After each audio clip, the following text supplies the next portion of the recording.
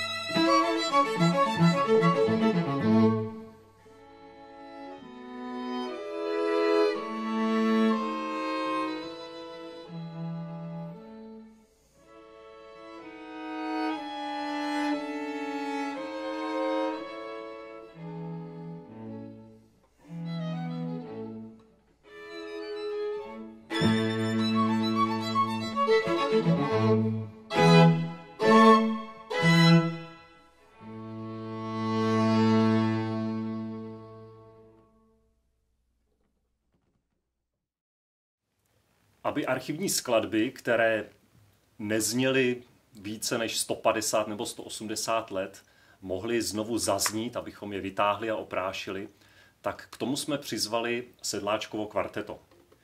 Chtěl bych se zeptat teď vedoucího kvarteta Michala Sedláčka. Ty si soubor zakládal ještě během svých studií na Hamu v roce 2007 a k dnešnímu dni kvarteto je držitelem mnoha ocenění z mezinárodních soutěží. Věnujete se premiérování nových skladeb, ale také nastudování a nahrání eh, skladeb, které jsou neznámé nebo dosud nezaznamenané, které jsou nalezené v archivech a pocházejí většinou od českých skladatelů. Eh, když si měl možnost nahlédnout eh, do hudební sbírky ve fondu Zdeňka Nejedlého, proč si vybral právě tyto dvě skladby, které dnes vlastně premiérujete po tolika desetiletích? No tak právě přesně proto, protože jsem to vůbec neznal. Nikdy jsem neslyšel jméno eh, Františka Pecháčka, natož potom Václava Vaňky. Eh, navíc nám krásně eh, dobově zapadají do naší takové osy, kterou se snažíme držet, a to je vlastně začátek 19. století české hudby, těch skladatelů, kteří se tomu věnovali profesionálně i amatérsky. Počínaje Míčou, Potom jsme vlastně dělali eh, Václava Jindřicha Fajta, ale to už ten Pecháček je vlastně pěkně mezi nima a Vaňka je tak nějak společně s tím Fajtem. Takže to, že to byly další dvě jména, eh, úplně pro mě neznámý, ve samozřejmě vyvolalo velkou touhu. A krom toho eh, zahrát si kvintet od pana primátora města Prahy, to je samozřejmě něco, co se vám v dnešní době už určitě nestane.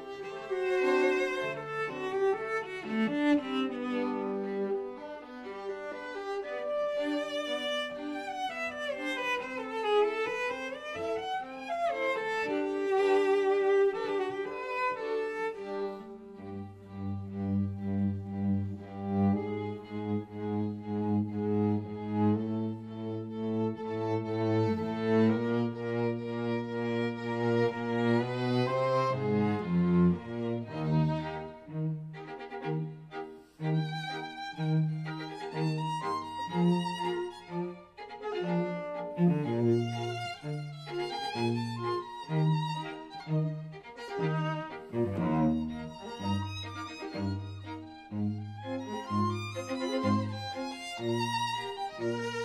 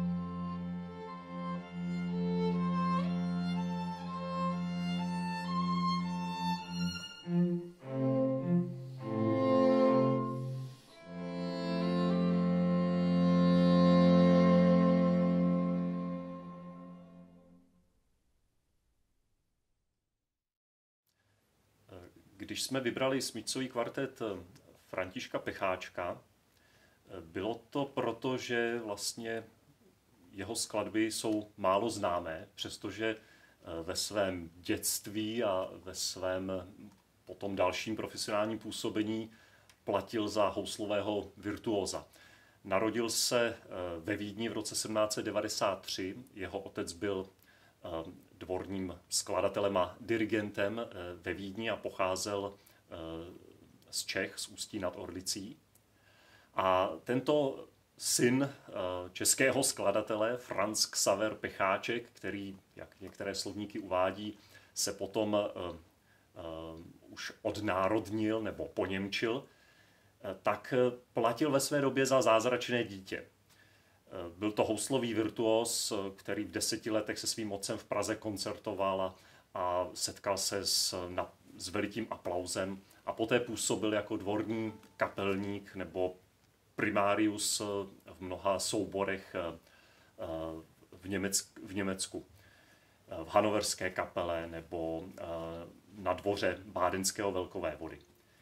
Eh, chtěl bych se tě, Michale, zeptat, jak na tebe ten Pecháčkův projev skladatelský, jak na tebe působil ve chvíli, kdy jsi přepisoval tento smícový kvartet a když jste nastudovávali eh, se souborem eh, celou skladbu?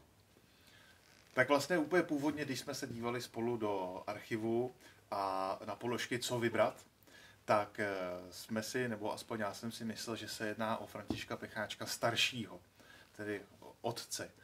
A to mě zarazilo a zaujalo, protože ten styl hudební už pro mě vůbec není klasicistní, ale už směle směřuje do romantismu raného.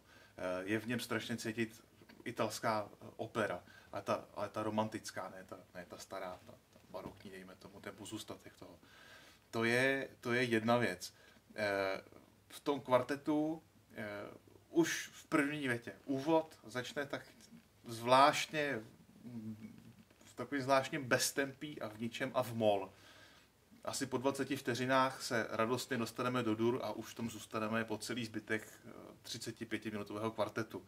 To je takový samozřejmě vtípek, ale relativně si myslím povedený.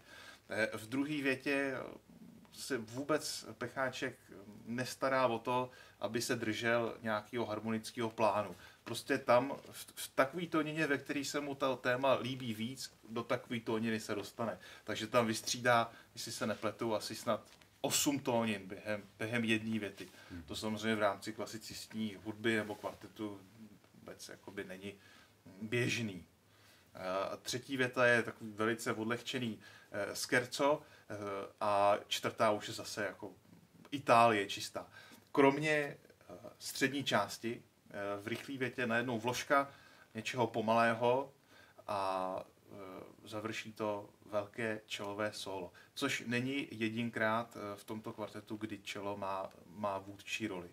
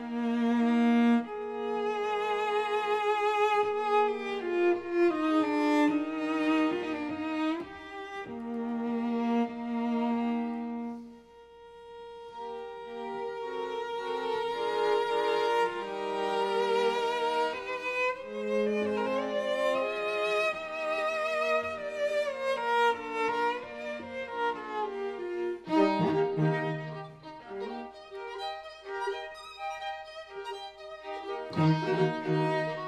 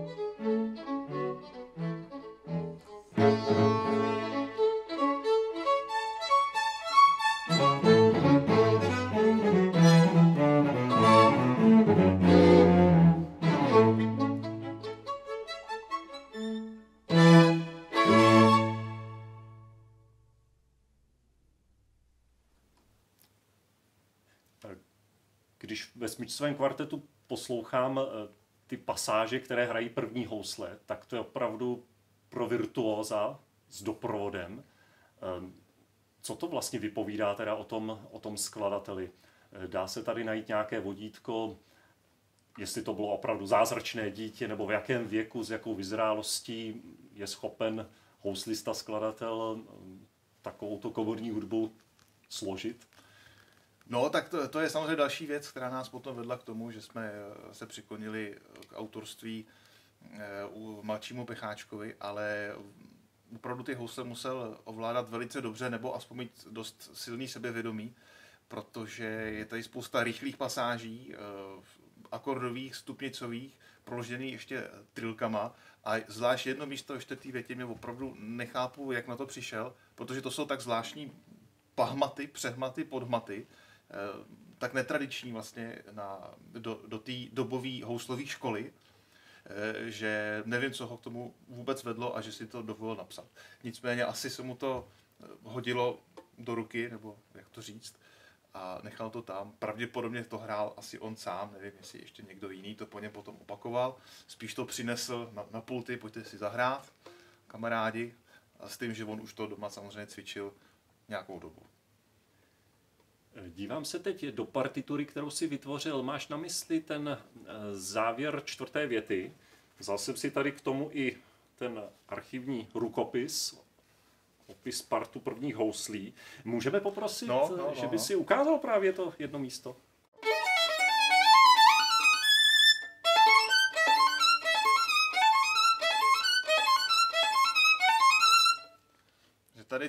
Houslista musí pořád vlastně být někde, ani neví kde a, a tu polohu furt podsekává a nacekává, že to je opravdu něco tak nehouslového, že bych řekl, že to napsal nějaký uh, kytarista snad, ani ne klavírista. A tož houslista. No ale František Xaver Pecháček byl prý i dobrý kytarista, hrál skladby od Paganiniho, takže možná něco v tom bude. Tak jsme u toho. A když se dívám vlastně do toho uh, opisu eh, do toho archivního dokumentu, do toho rukopisu téhle skladby. To není autograf, ale teda opis. Tak i tady ta pasáž vypadá eh, v notičkách hodně divoce. A nevím teda proč, když to, jestli to vybíral Roman Nejedlý, že to chtěl někdy vydávat tiskem nebo někdo jiný, tak tady je taková poznámka tuškou něco lehkého k tisku. Tak až možná, na tuhle pasáž. Možná to myslel hudebně lehkýho, protože tady opravdu se žádný dramata neodehrávají, ale je to spíš uh, k veselosti. Ale teda technicky to k veselosti rozhodně není.